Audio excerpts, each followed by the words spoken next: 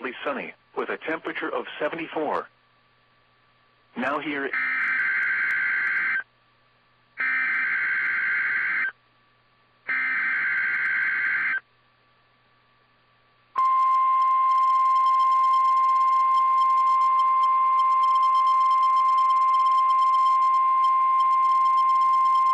This is a test of the NOAA weather radio warning alarm device.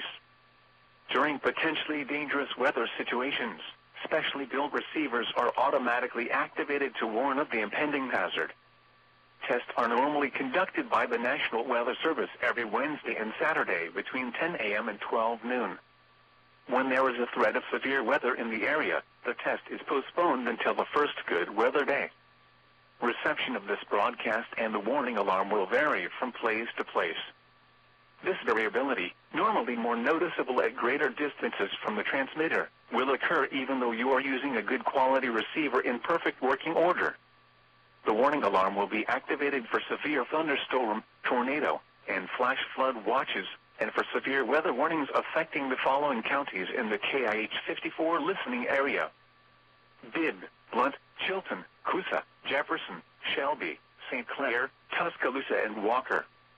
This has been a test of the NOAA weather radio warning device. We now return to normal programming.